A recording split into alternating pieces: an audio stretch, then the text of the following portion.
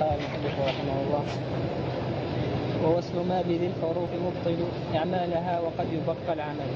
بسم الله الرحمن الرحيم. إن وأخواتها تتصل بها ما فتكفها عن العمل وما كافة.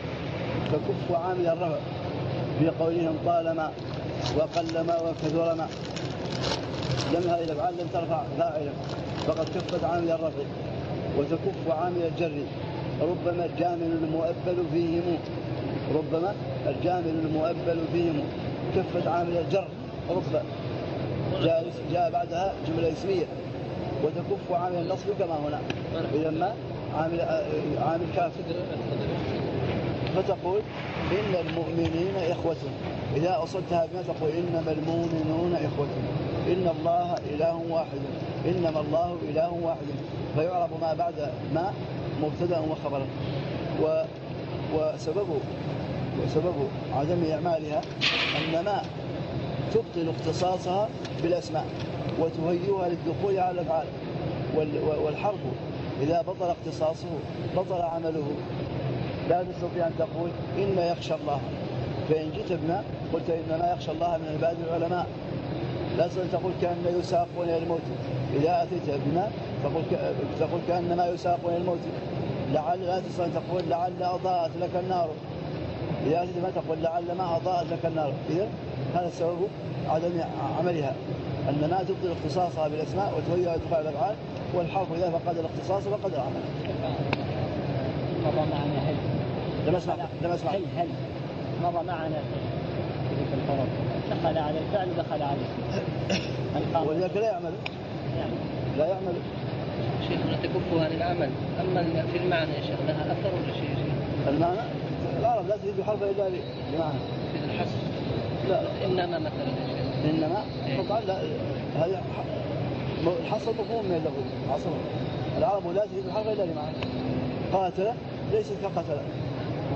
قال وصل ما بالحر وقد يبقى العمل سمع روي بالوجهين قول الشاعر الشاعرة ألا ليت ما هذا الحمام لنا ألا ليت ما هذا الحمام لنا. بالوجهين قال السر في ذلك أن ليت إذا دخلت عليها ماء لا تبطل اختصاصها بالأسماء تبقى مختصة بالأسماء. فمن أعملها نظر إلى أن اختصاصها بالأسماء باق ومن أهملها آه، طرد الباب على وتيرة واضح؟ ما قوله؟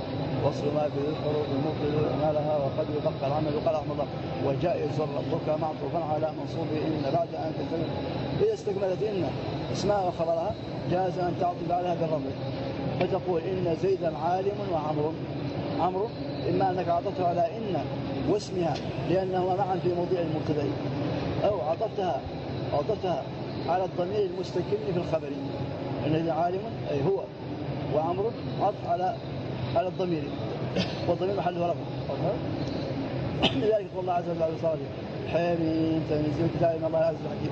إن في السماوات لآيات والأرض لآيات للمؤمنين. وفي خلقكم ما يبث من دابة آيات لقوم يوقنون. قال بعضهم حتى لو لم تستكمل. سمع قول الشاعر فمن يكو أضحى بالمدينة رحله فإني وقيار بها لغريب قرئ الشذوذ إن الله وملائكته يصلون على النبي. الله وملائكته. عطها بالرفع قبل القراءة الأخرى في قراءة الجمهور في في, في سورة المائدة والإسرائيل إن الذين آمنوا والذين هادوا والصابون والنصارى من آمن بالله واليوم الآخر وعمل صالحا فلا خوف عليهم. قال والصابون لم يستكمل هذا من قوله. وجائز الرفع فهم من قوله وجائز أن الأصل عدمه. الأصل تقول إن زيدا عالم وعمرا جاهل. هذا هم قوله وجائز قال رحمه الله وألحقت بإن لكن وإن لكن وإن كذلك يتبعان يتبعان إن في هذا. تقول الطلاب حاضرون لكن عمرا غائب وبكر متأخر. مثلا. وتقول علمت أن زيدا فاضل وعمر وعمر كذلك. لأن يشترط يشترط أن يحل محل محلها مع مدخولها جملة. وذلك بأن تكون بعد العلم أو نحوه وأذان من الله ورسوله إلى الناس يوم الحج الأكبر. أن الله بريء من المشركين. وتقول علمت أن عمرا فاضل وزيد. فإذا لم يكن تأويلها بجملة لا لا يجوز لا يجوز تقول يسرني أنك حاضر وزيدا. ولا نقول زيد. لأن موضع أن هنا ليس واضح؟ أنا أقول والحقت بهن من دون ليت ولعل وكان أما ليت ولعل وكان فالحكم فيها مختلف. لا يجوز لا يجوز الرفع بعد بعد استكمالها. تقول لعل عمرا حاضر وزيد غائب ولا يجوز وزيد. وكذلك ليت وكان. وخففت إن فقل العمل وتلزم اللام قال إن تخفف. تصير بها تكون تصير بإن ويقل إعمالها. لأنها بالتخفيف فقدت الاختصاص بالدخول على الأسماء وتهيأت للدخول على الأفعال؟ فمن أعملها نظر إلى أصلها وهو القليل ومن أهملها نظر لبطلان اختصاصها بالاسم وجاء في القرآن. وإن كل لنا جميع لدينا محضر بالإهمال إن كل نفس لما عليها حافظ بالإهمال. وجاءت معملة قراءة ورش. وإن كل لما ليوفينهم ربك أعمالهم. أنا أقول إيه؟ وخففت النفقة للعمل وتلزم اللام. أي خبرها. إذا ما تهمل فارقة بين إن النافية وإن المخفف من الثقيلة تقول إن زيد لعالم إذا أردت أن تثبت علمه. فلو لم تكتب اللام قد يفهم السامع قد يفهم السامع أنك تريد تنفي عنه العلم. وأنت أردت بالعكس أردت تأكيده. فتأتي باللام أها؟ إذا اتضح المعنى وعرف مراد المتكلم وأنه لا يريد أن ينفيه فلا ضرورة لله. تحذفه. كقول الشاعر أنا ابن أبات الطيب من آل مالك وإن مالك كانت كرام المعادن وإن مالك كانت كرام المعادن لم يقل لكانت إيه؟ وخفض النفقا للعمل وتلزم اللام إذا ما تهمل وربما استغني عنها إن بدا مناطق أراده معتمدا.